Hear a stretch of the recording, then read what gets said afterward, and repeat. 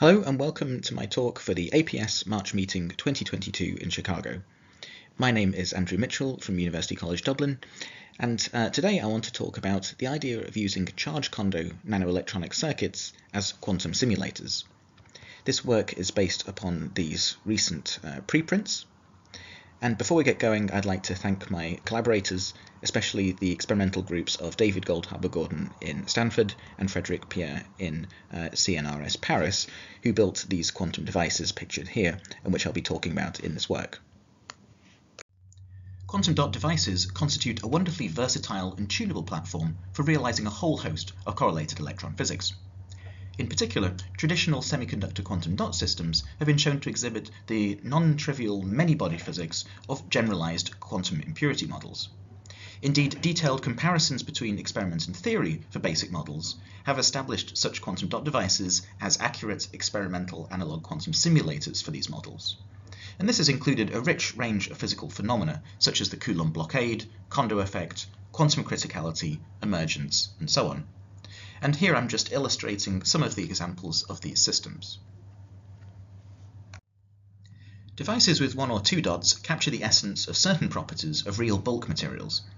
However, recently efforts have been made to scale up quantum dot circuits to more elaborate structures of coupled sites as a more direct quantum simulator of lattice effects.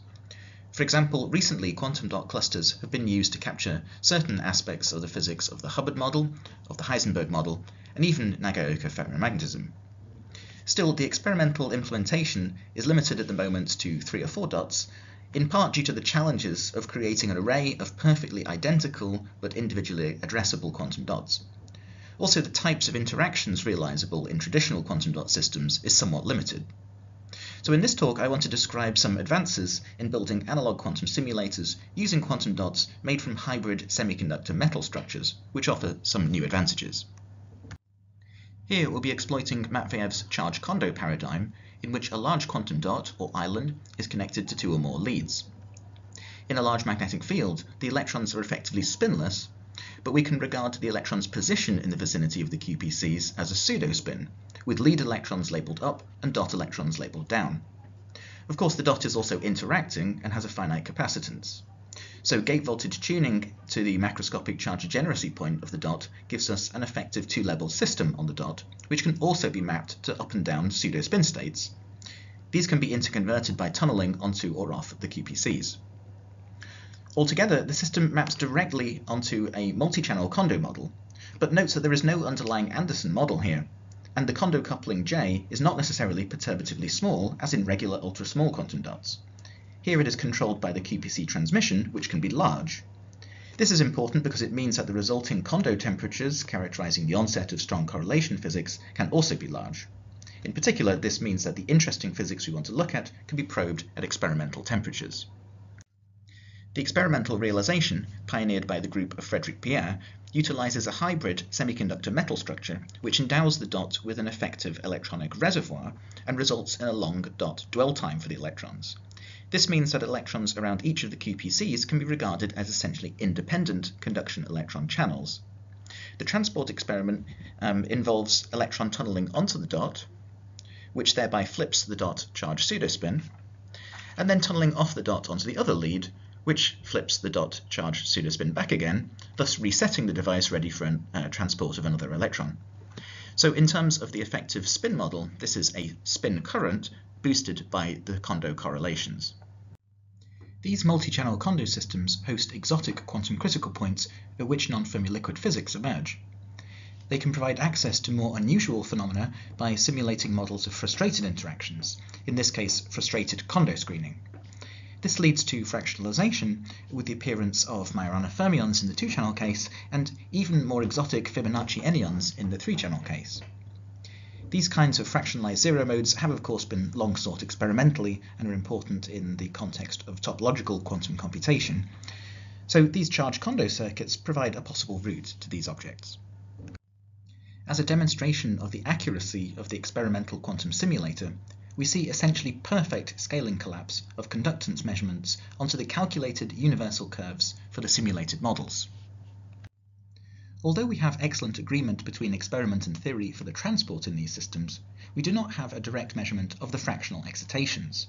a smoking gun signature of which would be their characteristic fractional entropy. An indirect measurement of the entropy can however be obtained by exploiting the Maxwell relation connecting charge changes to entropy changes as the gate voltage is varied across the Coulomb peak. If we can obtain somehow the temperature derivative of the dot charge, as I've illustrated here, then we can relate this to the fractional residual entropy at the critical point of these systems. The problem is that at present the required charge measurements have not yet been made on such critical Kondo systems. Therefore here we take an alternative approach in which we use our theoretical model to find a relationship between the experimentally measured conductance and the charge across a Coulomb peak. This in turn allows us to access the entropy via the Maxwell relation. In the two-channel case, the conductance-charge relation can actually be derived analytically, and by re-examining existing transport data from the experiments, we can see a clear scaling of the extracted entropy towards the critical fractional value of log square root 2. The three-channel case is much more complex.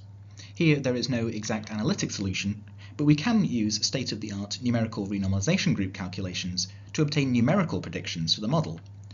Remarkably, by fitting a few parameters from the data, such as the charging energy, number of accessible charge states, and the QPC transmissions, we can completely reproduce the full Coulomb peak conductance curves obtained in experiment. We see here on the left the comparison between the experimental points and the NRG lines. Using a numerically derived conductance charge relation, together with the Maxwell relation, we can then extract a prediction for the residual entropy. We see on the right here a scaling towards the critical value, this time log of the golden ratio, a fingerprint of the emergent Fibonacci anyon in this device.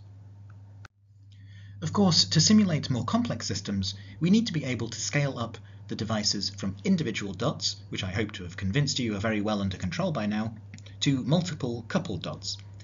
In particular, we'd like eventually to scale up to lattices. The metallic semiconductor hybrid dots offer a unique advantage because the continuum level spectrum on the dot depends only on the dot size, which can be very well controlled, as can the QPCs connecting the dots to each other and to leads. However, a prerequisite for scaling up such systems is to understand and control the interdot interactions. Within the charge Kondo paradigm, we actually now have a richer range of interactions to play with. We demonstrate that here in the simplest double dot system. The tunneling of the electrons at the central QPC connecting the dots is actually a correlated tunneling because it is accompanied by charge pseudospin flips on the two dots. Interestingly, this generates a coupling that favors a many-body coherent collective screening of the two dots, an interdot Kondo effect, if you like, and this competes with the individual dot-lead Kondo effects. We make use of this novel coupling term and the Kondo competition to realize a new quantum critical point. Here I've plotted the charge stability diagram of the device with the conductance plotted as a color map as a function of the left and right dot gate voltages. The dark hexagons with zero conductance are the Coulomb blockade regimes with a definite number of electrons on each of the two dots. The bright lines are the charge fluctuation lines, uh, which in the Matveev picture um, map onto uh, Kondo spin flips. The brightest points of the diagram are, however, the triple points. Um, these are expected to have the highest series conductance because an electron can tunnel from the left lead onto the left dot, then onto the right dot, and then from there onto the right lead, all without leaving the ground state manifold of states. However, um, here we see that those interactions are Kondo renormalized, and the series transport is affected by the many-body entanglement that spreads between the two dots and into the leads. So on the right here, we see NRG results for the model. And there's an excellent agreement uh, between the experiment and the theory that confirms that we really have the right model to describe this device. An advantage of the computational solution is that we can go down to very low temperatures. Here I've gone down from 20 to 2 millikelvin. And um, when we do this, we see that the triple points really become rather well isolated uh, from the rest, and that their conductance is relatively boosted. At the triple point itself, we have a competition between different kinds of Kondo effect. We can have a Kondo effect uh, of the left dot with the left lead, of the right dot with the right lead, and then this coherent uh, interdot Kondo effect that I mentioned earlier. The frustration between these different Kondo effects leads to a quantum phase transition.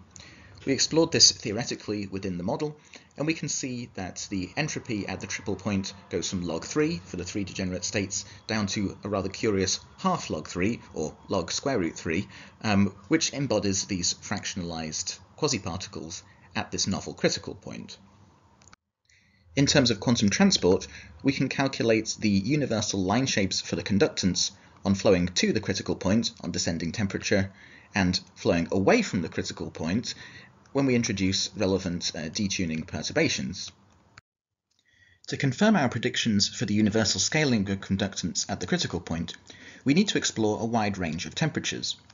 However, this is not actually feasible in the experiment, and so we adopt a different strategy. Since universality near the critical point implies that the conductance is only a function of the rescaled parameter T over T star, with T star an emergent scale from the detuning perturbations, we can instead fix the temperature and vary the gate voltages. And this leads to the prediction shown on the right hand side here. Comparing now to the experimental data, we see an excellent agreement and a non-trivial scaling collapse to the universal curve for different detuning perturbations, here shown on the left, and also the non-trivial 3 half power law in the overall temperature rescaling of the conductance shown on the right. So this really confirms that not only is the double charge Kondo model the right one to describe new interdot coupling, but also that exotic quantum critical physics can be simulated in these kinds of devices.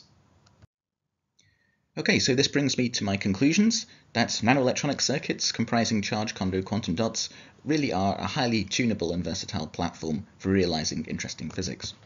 We saw this for single dots already, where we saw a Kondo frustration and fractionalization, and in double dot systems we have a new range of interdot interactions uh, possible, which lead to interesting quantum critical physics. I guess the punchline is that all of this is scalable. Ultimately, the goal is to scale this up to clusters and lattices, where the experimental uh, devices really will be analog quantum simulators of hard problems that are beyond the reach of traditional computational methods. Thank you for your attention.